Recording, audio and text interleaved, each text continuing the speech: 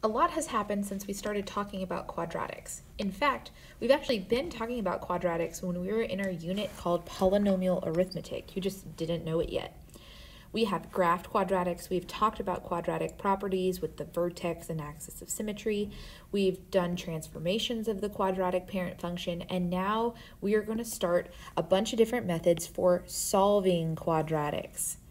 Today we're going over method one for solving quadratics, which is to solve them by factoring. So we're bringing back in the idea of polynomial arithmetic because remember when we're factoring, we're trying to get something in ABC form written in factored form. Now we're still going to be doing that. And the reason we spend so long on factoring is because it is one of the processes we use to solve quadratics. Just like we solved regular equations, just like we solved systems, we now solve quadratics. A lot of things in math use this word solving, but this is the method for solving a quadratic equation that we're practicing today. So a couple things first. It says, what are the solutions to 4x squared plus 4x minus 3 equal to 0. Now, before, when we were just factoring, we just had expressions, which meant there wasn't an equals and a 0. But this is going to become super duper important. If your equation does not say equal 0, you're going to have to have it equal 0. So we'll see some examples in class today or next time whenever it does not equal 0. But when it does, because getting it to equal 0 is pretty simple, all you have to remember is what we did back in the fourth six weeks with factoring, where we find A, B, and C. We factor by setting up and solving our own X puzzle. If you remember, A times C goes in the top of the X puzzle, so for this one, 4 times negative 3 is going to be negative 12. And B goes in the bottom, so 4 goes down here.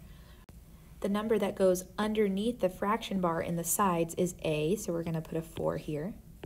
Okay, those are a's. All we have to do is figure out what factors of 12, so I'm going to make a t-chart for 12, would add to 4.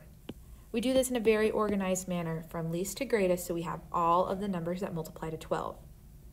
If you think about the magic number sheet, if the top number in the X puzzle is positive, Sorry, that's negative. If the top number in the X puzzle is negative and the bottom number is positive, that means the signs will be opposite and my bigger number is going to be positive. So I go ahead and make that part of my t-chart. Which of these rows would give me 4 if I added them together? Yeah, exactly. Negative 2 and a positive 6 would give me 4 when I add them together, so those two things become part of my X puzzle. I reduce out the sides. Negative 2 divided by 4 is negative 1 half, and 6 divided by 4 is 3 halves. Yes, sometimes those don't reduce. Yes, sometimes only one side reduces. I'm glad you remembered that. Now, one of the steps that we did when we were uh, factoring is we took these numbers from the X puzzle and we put them into factored form. Now, hopefully you remember that when we were factoring, we took these denominators and we swung them forward. But the reason that we had you guys write this step down when we were factoring is because we've actually already identified the solutions. The solutions for this quadratic are the opposite terms than you have written in the parentheses. So the opposite of negative 1 half is positive 1 half. And the opposite of positive 3 halves is negative 3 halves. And those are my solutions. So I don't have to swing the denominator forward. That's for factoring. For solving, once you get to this point, you just take the opposite number than what's in here and know that those are your solutions to this quadratic. Now, since we know what the solutions are, hopefully your spidey senses are tingling, you'll also realize that if we know the solutions, we know all of the vocabulary words called the rocks, which means the roots are 1 half and negative 3 halves. And the zeros are 1 half and negative 3 halves. And if we graphed this, the x-intercepts would be 1 half and negative 3 halves. The solutions is the S part of the rocks words. So just like we emphasize the x-intercept for graphing and finding the rocks words, when we're solving, we're emphasizing the solutions, but knowing that the roots, the zeros, and the x-intercepts are still the same vocabulary word because these are a part of the rocks terms.